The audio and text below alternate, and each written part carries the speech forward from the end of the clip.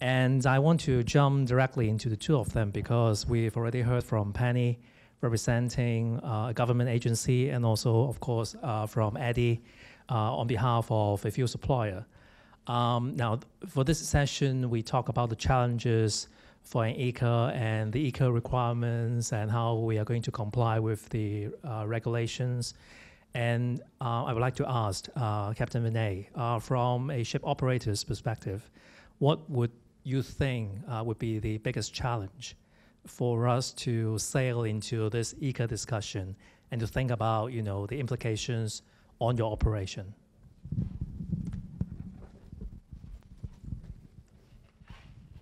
Thanks, Simon. To address that, I would mention that a cost and return on investment are integrated into the success of any enterprise. Shipping is similar enterprise. It's a paradox to invest large amounts in new technology with no assurance of return. Today we are living in a world of duopoly. There are only two engine makers remaining, and their priorities are not aligned with the interests of 7 billion and growing human population.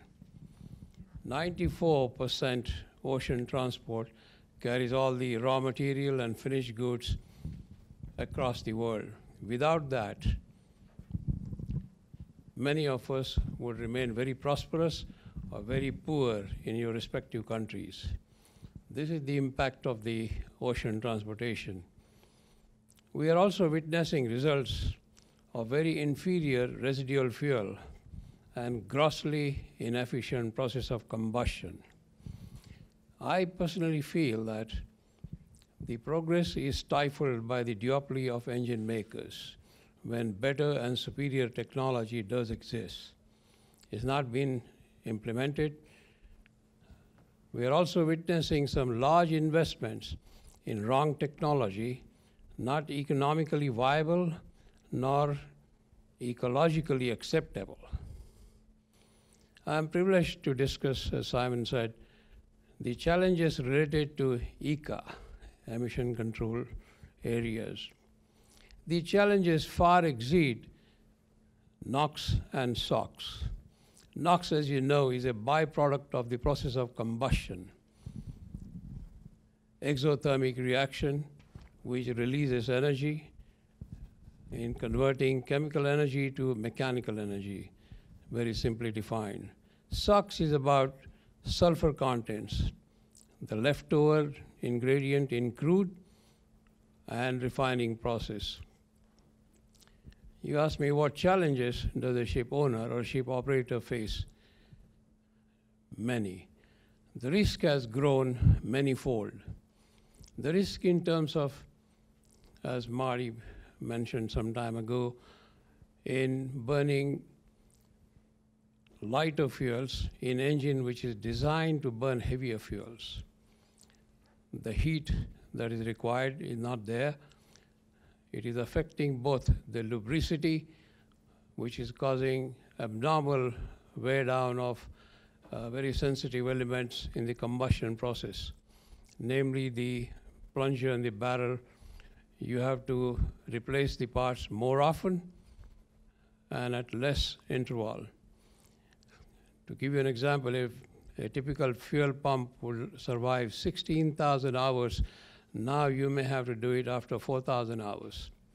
That's destruction. And that is added cost. Switching fuel is enormous cost. In the United States, on the West Coast alone, 120 ships lost propulsion switching over from heavy to light fuel just last year. Global numbers are frightening the part and the wear down and the frequency of their replacement or renewal or overhauling itself is a big burden on the ship owner. Not to exaggerate, but the risk element has increased so much. The lubricity, which really cannot be met when you have sulfur contents 0.1%, it has to be substituted, as Mr. Fish mentioned some time ago, by introducing chillers, coolers, and here this one, scrubbers. Those monstrous scrubbers do nothing. You have to look at superior technology, and the superior technology exists, but it may not serve the purpose of the engine makers. As I said, there is duopoly, and they are now tinkering with these scrubbers, not going anywhere else. A technology exists, and the only way to get rid of NOx is by remediation. I shall elaborate that tomorrow, the specifics of that process. And I think these are some of the cost sensitive and safety related issues that the ship operator is facing today. Thank you, Captain. Um, and as you said, there are some technical issues that we've just touched upon that will be addressed and discussed in tomorrow's program. Um, so maybe we can uh, stay focused a little bit more on the policy and the strategic level for this discussion. Not to say that technical issues and safety issues are not important, but maybe that would be the focus for tomorrow's dis discussion. And right now we can, you know, uh, really focus on the high level uh, kind of discussion.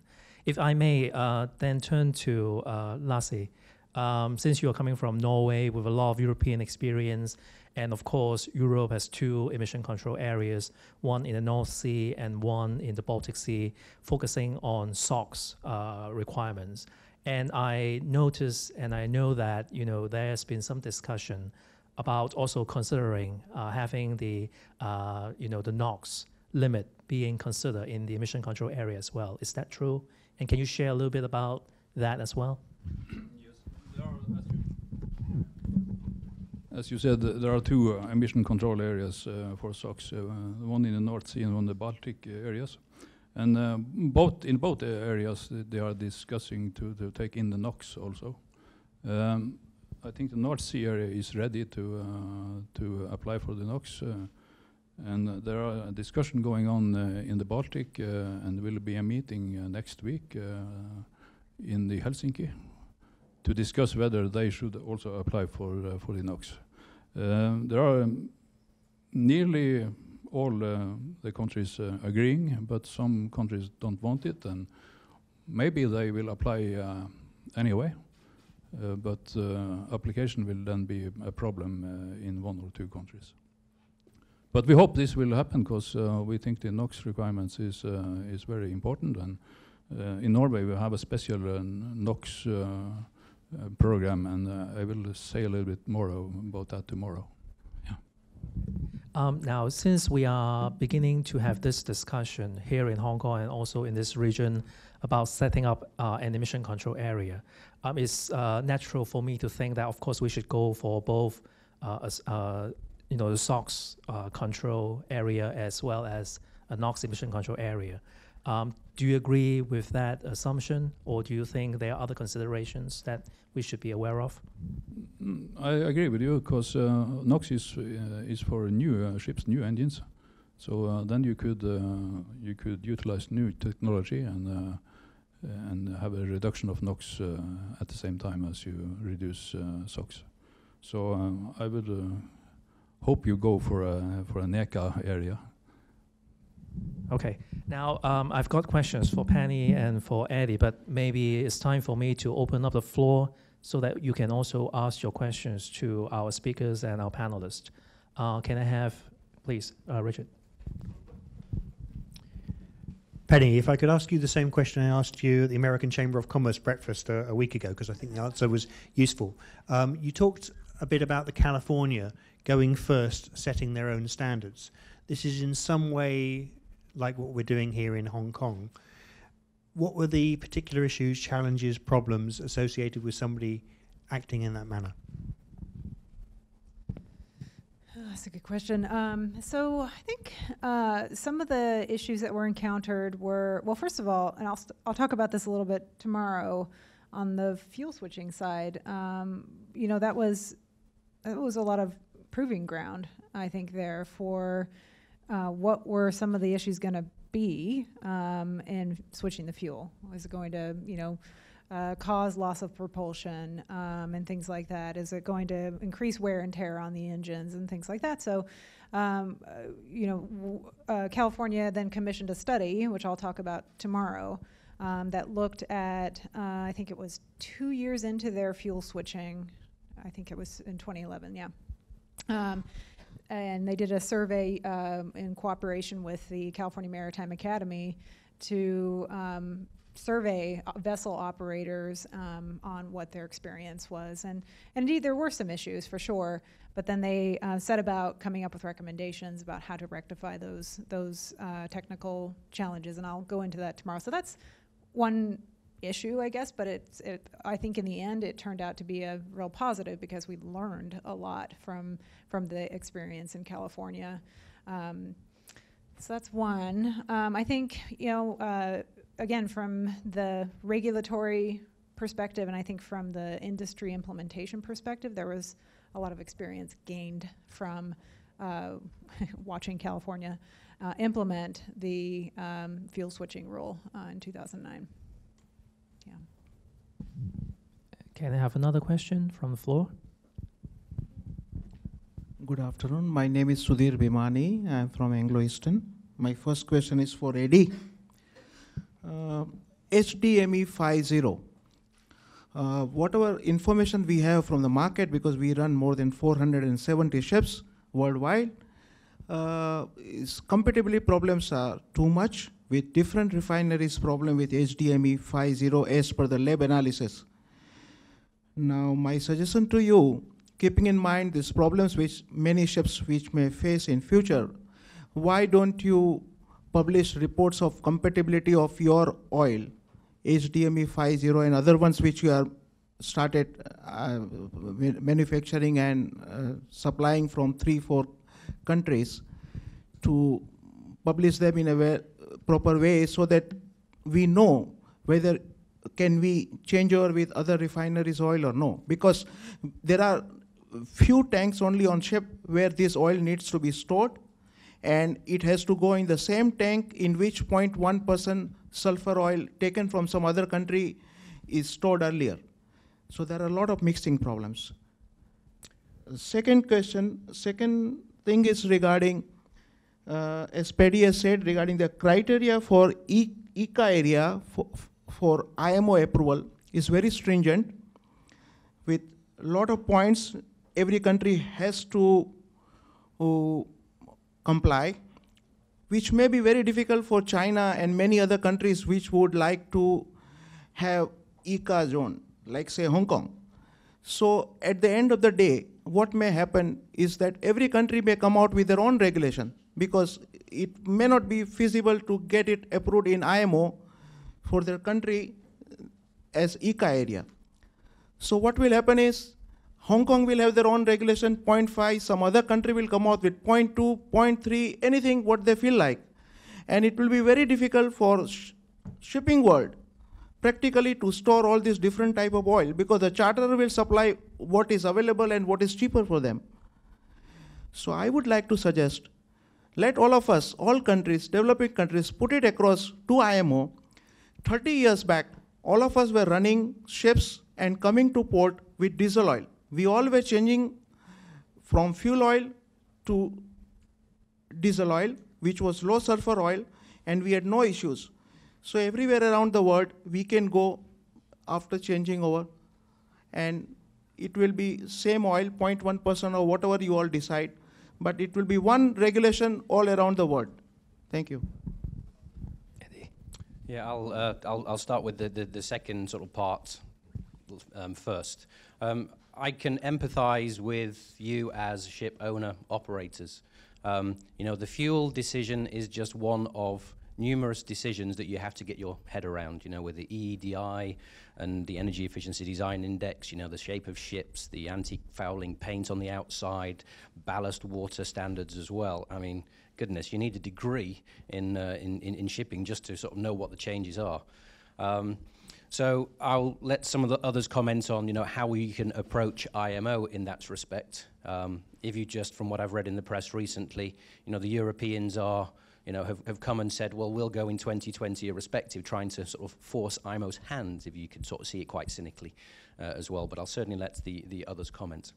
Um, with regards to HDME 50, the, um, the good challenge that we had being first to market with this product as well was that because it is different in nature, it is clean like a distillate product, but handles like a fuel oil.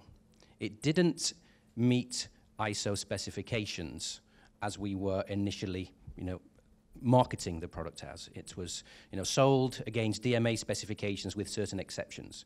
Those good exceptions being viscosity and flash point, which actually make its handling easier on board, you know, for fellow engineers. Um, now, due to the charter party agreements and the feedback that we've had, is that, oh, I have a charter party agreement, I have to buy to an ISO 8217 specification. So that's why now we are able and able to guarantee selling the product to RMD 80. Now, it was designed to meet the 0.10% sulfur limits. It has been trialed very successfully and continues to be used very successfully and without issue by many, many different people. And to me, the proof is in the actual trial. Indeed, you know, I've read um, some cases in the media um, questioning the compatibility. Uh, and you know, I liked, and, and I tried to sort of cover this as well, using the spot test method to compare HDME 50 against another distillate was you know, the incorrect test method. And we are trying our best to educate the testing agencies as well as the consultants. You know, we, we tried and we corrected, and yet the paper was still, still published, frustratingly. Um, so the good news is that we are working with um, different labs, and I'm ha happy to confirm that Premium HDME 50 is compatible with all of the ExxonMobil products that we've tested it against, including AFME 200 and the marine gas oils. We are also reaching out and are looking to test it against others, because your point is very valid. You know, how does it compare? Can it be mixed with others as well? Because in some cases, some mixing will need to occur. Now, those results are looking very favorable. Um, I'm still awaiting for some to come back, but over the course of the coming weeks, we will be able to share that. Because instead of just you know, disregarding somebody's research, as correct or as incorrect you might understand it to be, the best way is to let's do the research, let's involve ourselves with other partners, not just from an educational standpoint, but also from a compatibility standpoint as well. So watch this space. Uh, but you know, thank you for, for, for raising that and allowing me to clarify further. Uh, sure. I, so I think your question uh, about consistency is what I heard. Is that right? Um, in terms of just everybody going to the IMO together. I think that'd be great, honestly. Uh, uh, you know, I but I do also appreciate the, you know, the re- there are regional complexities that, um, uh, you know, political complexities. There are legal complexities uh, that are very different uh, from one part of the world to the next, right? So I, I, I think that from what I heard and what I understand um, is, is happening here um, in this region, uh, you know, I think, yes, it'd be fantastic if everybody could go as a whole country, uh, China, to IMO and get a countrywide ECA. That would be ideal and to go, you know, do the NOx and do, you know, do the uh, sulfur as well. Um, that's the ideal world. But uh, short of that, I think the approach that's that's happening, that seems to be happening and rolling out here, uh, starting at a regional level in the PRD, YRD, uh, where you have major, you know, the major shipping uh, hubs uh, globally, really. Um, I think is a is a really great great first step, and even that I understand is going to be very complicated just to do that.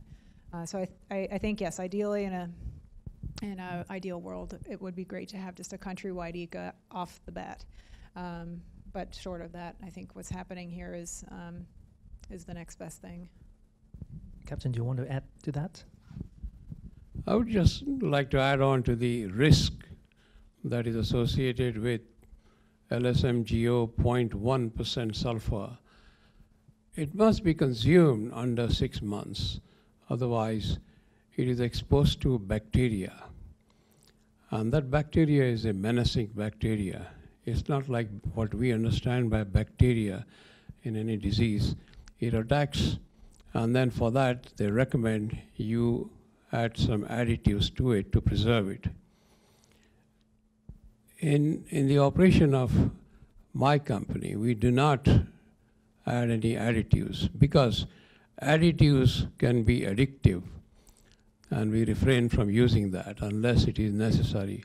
But this is a challenge not known till recently that LSMGO with 0.1% sulfur is attacked by bacteria. Think about it. The second point I would like to add is about the compatibility. When two dissimilar products are stored in one tank, compatibility is an issue. It's an undying debate. What should that be? 50 50, 40 60? You ask 20 chief engineers, you will get 30 answers. The fact of the matter is, there is definite stratification of oils in the tank, and it can virtually become unusable. So that is another risk you run now with this low sulfur and uh, surrounding the NOx issue as well. Thank you. Yes, um, uh, from uh, the Norwegian point of view, we support uh, the uh, level playing field, and uh, so I think um, even if some areas or countries don't apply to IMO, they may apply the same set of technical rules if they like. So you have a same regime worldwide, and that would be a, a, very good idea, I think. Uh, for the Hong Kong initiative on 0.5 uh, sulfur is on berth is very very nice, and hopefully a lot of the ships coming from sa sailing between the Hong Kong area and, and the ECA areas in uh, United States and in Europe, they will use uh, 0.1 uh, fuel. So you will get more than you require, I think, hopefully. So maybe you will have some experience uh, from the six, uh, first six months, and then you maybe could change to 0.1, because that is the fuel uh, available uh, for the time being, and uh, 0.5 is not uh, quite available, and will not be worldwide available for before 2020, I think. So you maybe have a better reduction than you think in Hong Kong. Okay, thank you. Um, I would like to ask uh, Eddie a question about fuel availability in this region because you mentioned a few times about you know relying on local refinery supply for the type of fuel that this region needs in the future. Can you share with us, uh, if, if, if you may, um, about the uh, low sulfur fuel availability in this part of the world? Um, any insights, any ideas? I mean, really just goes to, um, yes, I can, of course. From what Lasse has just said there um, about the what is the, the availability of vessels that are coming into uh, into Hong Kong, you know, will they have the tank configuration to store a 0.5% product, irrespective of whether it looks more like a distillate product or a, or a fuel oil product? Um, knowing that tank configurations are pretty limited, it depends on the, the vessel, it depends on the vessel's route. So almost the decision needs to be taken on a vessel by vessel basis. Um, the products that ExxonMobil is selling in Hong Kong, um, there is a regular sulfur fuel oil, so up to 3.5%, and the ECA grade is actually a 0.05%. Um, I, can, I can't comment on what, um, what others are doing. So certainly, if you're needing to lift an ECA fuel, um, the Hong Kong fuel, if we can call it that for the time being as well, you have got that point 0.1 already. Um, re other um, refineries that we are looking at. Um, Singapore is a major refinery for us, an integrated plant with chemicals um, as well as it being you know, a, a, a regular petroleum refinery. Um, we are looking to see if we can produce an HDME 50 or an AFME 200 type product through Singapore. Um, it's too early for me to, to share those results with you because what's important for me and for ExxonMobil is to have um, a quality product and continuous supply. So if I can produce a batch of it and say, here you go, knowing that in three weeks' time we don't have it anymore, that's, you know, we've, uh, we've kind of shot ourselves in the foot slightly. So we have challenged our scientists to work this for us. But the key for me on the marketing side is to have the quality product and continuous supply so that it can give you the benefits of safer switchover as well as you know safer use in, in boilers. Thank you. Um, is there any question from the floor? Can I have another one? No? Oh, okay. Billy.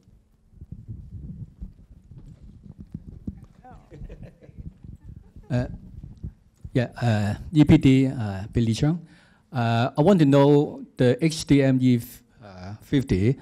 Is there any process of uh, standardization to apply ISO 8217? Will there be a change that will include uh, this type of uh, non-fuel, non-residual uh, type of things? I mean, the, the experience has, has told us because we were the, the, the first kid on the block, you know, the first to market uh, HDME 50. It was sold because HD, heavy distillate. You know, initially we were selling it uh, to DMA specification with the with the exceptions. You know, the, the benefits of, of a fuel oil. Uh, now we can clearly state for charter party agreements and for peace of mind, we can sell it to RMD 80. If your um, sort of question relates more to will ISO consider a new category between the DMA, the distillate type products, and the residual products, the RMA through to RMK, um, I don't know. It has been questioned. Um, and I think the, the committee is, is due to meet or you know, is, is setting and, and perhaps revising some of those standards as of 2016. I'm, I'm certainly not the expert in, in, in this subject as well. So I don't think there is time to try and create an, an, another new category. So that's why we are able to sell on either commercial term. Um, and, but of course, when we do sell, what is important is that the people receiving the product are aware of its unique characteristics. So prior to each delivery, we give a best practices handling guide to the product. Yes, it's got distillate in its name, but don't put it into a distillate tank on board because that's not heated. This is highly viscous um, and therefore needs to be in a heated tank to keep it, uh, keep it pumpable. Only it, even though it, its pour point is around 6 degrees Celsius, based on the last, the last test as well. So it's important with anything new that you help educate as best as you can. And talking to the purchasing side and the technical side is one thing. We ensure that every receiving vessel understands, is given a non-marketing piece of material. There are no pretty pictures on it as well, because often as engineers just like to, you know, tell me the facts, tell me what I really need to do. Uh, and we found that that has worked um, brilliantly um, and people like the product. Um, certainly those people that um, I mentioned that have claimed that we've lost propulsion by running on marine gas oil um, prior to these products being uh, available, um, they are, like I say, over the moon and saying, why can't others do it? We're certainly challenging ourselves internally. Um, we know that some of our competitors are coming up with a mix of, of different products of different characteristics as well but it is important to understand how they're made up. And, and if you do need to mix, test the compatibility before you do mix them. Okay. Um, now, I'd like to pick up a point made by Captain Vinay early on when he mentioned investment and return. And I remember this morning there's a gentleman asking a question uh, with Christine, saying that if the government is going to provide any financial support to uh, the, uh, the implementation or the use of technology, uh, for compliance. Now, um, I want to ask Captain Vinay, uh, if the government is going to provide some sort of support, what type of support it should be?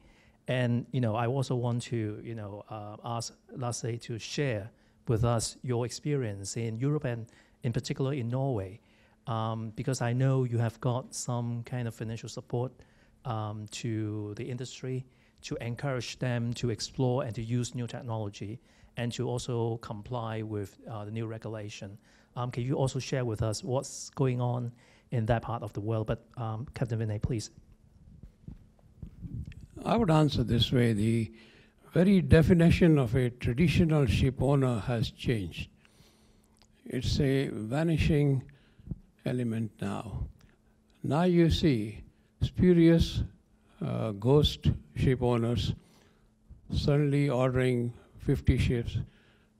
And now a traditional ship owner who cared for the quality, performance, safety of his vessel no longer exists.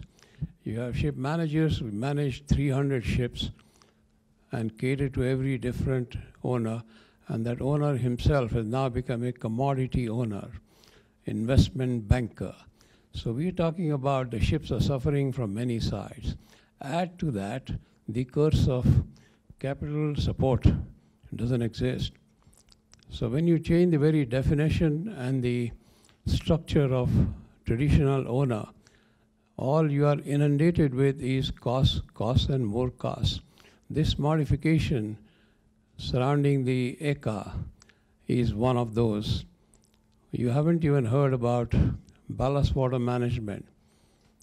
And when you talk about scrubbers on a ship, which is 10 to 15 meters tall, 5 meters diameter, there is no space. The ship will either carry that or the cargo. So I think we are the industry is at a crossroad right now, and there are no easy answers to this. And the world will have to settle down with some form of acceptable ship, ship owning, ship operation. Who pays for it? The end user and the consumer eventually will have to build this because ships will not survive. As I made a statement earlier, 94% of the ocean trade is carried by ships. So some will have to remain in a prosperous country, and the others will have to be content living in a poor country. I don't see any easy solution. Sorry about that. Okay, over to you, Lasse. yes, thank you. Uh, Well, in uh, the development in Norway has uh, has been driven by uh, by several uh, factors. Uh, uh, in general, uh, uh, you could get grants if you if you take on innovations, uh, but of course uh, it's only the first uh, ship uh, which can have grants. Um, uh, but uh, there is another uh, scheme in Norway which is a NOx tax scheme, and uh, due to a, uh, Gothenburg Protocol, Norway agreed to to reduce NOx and um, to to have some um, speed in this process. The government said that uh, we will have a NOx tax on all ships calling Norwegian ports, and um, this NOx tax was uh, rather expensive. It was about two dollars per kilo for the time being. And uh, the owner says that this is, uh, is only uh, some earnings for the government, so we don't like it. We like to have it another way. We, we have like to have a NOx funding. So they said that um, we will uh, establish a NOx fund, and every ship could uh, ship owner could join that fund and pay uh, a small contribution. And this contribution is rather small because it's only a half dollar per kilo. So you could uh, you could uh, join the NOx fund, which is a private enterprise, and pay uh, one quarter of the price uh, for the NOx. And then if you invest in uh, in new technology, new ships uh, with uh, better engines, or even use LNG or some new technology, you could get funding from this NOx fund. You get your money back. And this has been a very good uh, arrangement, uh, but uh, for the time being, it's also only in Norway. But a third way is um, we have some local ferries, uh, which is a part of the national road system, and there the government has said that it should be low emission engines, and then you don't need any any uh, uh, grants or investment support because uh, everybody who who will uh, build ships should use uh, new and modern technology. Okay, thank you. Um, any questions from the floor before the coffee break? No? Now, um, maybe finally, I would like to open another can of worm. Um, yeah, it will take maybe five minutes, uh, don't worry. Um, I would talk about uh, chartered vessels and charterers um, and how, you know, how much attention we should pay to this sector as we begin our discussion on emission control area and tighter regulation because they are a very important part of you know, the, the system. And um, it's slightly different from the traditional type of uh, ship operators and owners. They have their own way of, you know, thinking. Um, you know, can, can anyone educate me and also the audience, you know, whether this is something that we should consider as well as we plot our next move for tighter regulation? Anyone? oh, this is tough, I know. or anyone from the floor, actually, who would like to, you know, contribute to the discussion on the topic of, uh, you know, the charterers.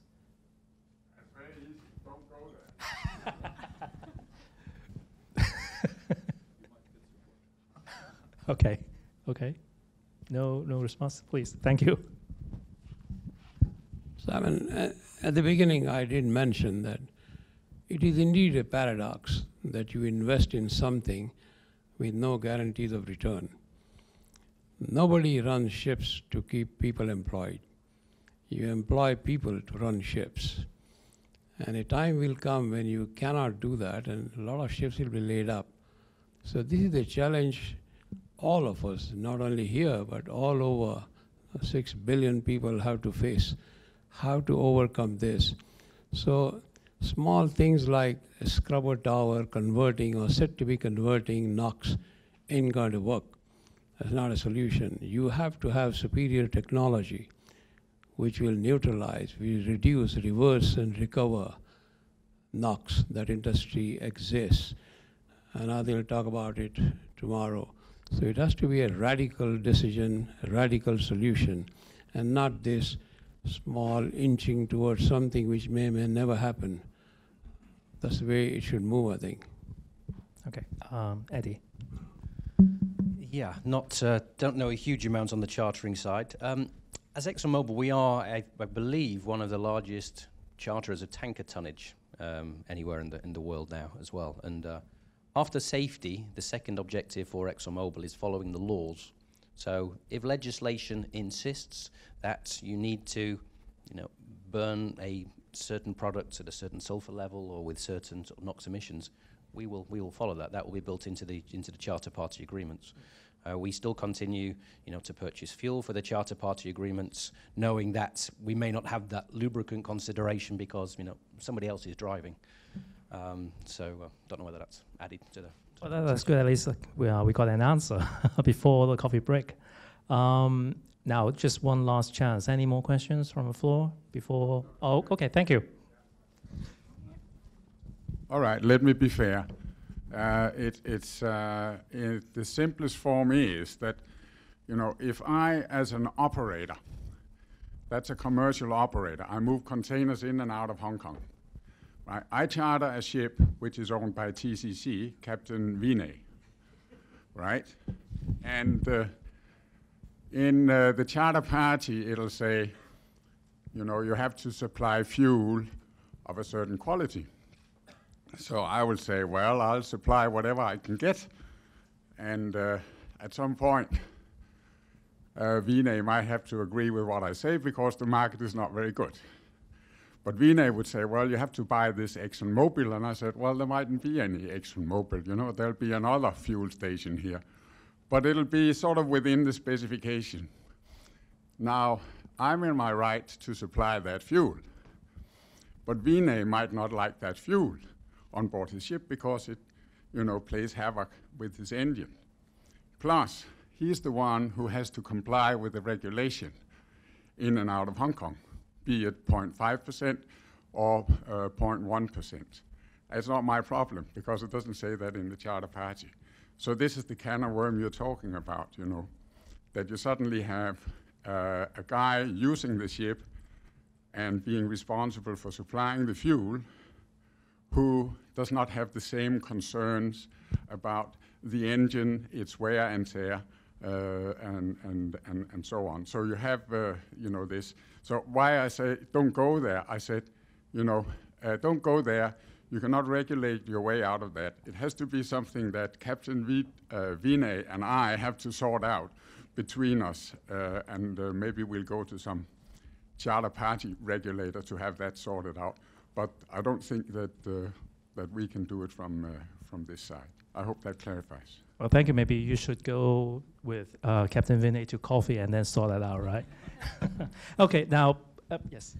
Just, uh, it, it goes back to even more basic than that. You know, the ISO specifications, ISO 8217, um, for purchasing fuels, I mean, there are still a lot of people buying to 2005 standards, even though 2012 is there, has been there for three years now as well. So I would just ask, you know, why are you not buying to those higher standards? They are there to protect you to a point. However, they are a purchasing standard.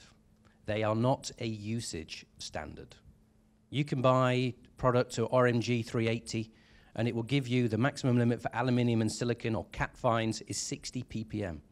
If you put that product straight into your engine without purifying it thoroughly, you'll kill your engine in no time. So always be aware of what you have bought. If you're aware of it, and indeed, the gentleman, you know, says, I'm buying it, but it's down to Captain Vinay, you know, to, to, to, to figure out. As long as they are aware of it, engineers are pretty canny people and can handle many things. Purification systems on board a vessel are there. And the reason we say 12 ppm, because a purifier is 80% efficient. So be aware of what you've bought, but also consider that it is a purchasing specification, not a usage specification. Thanks very much. I would address it this way.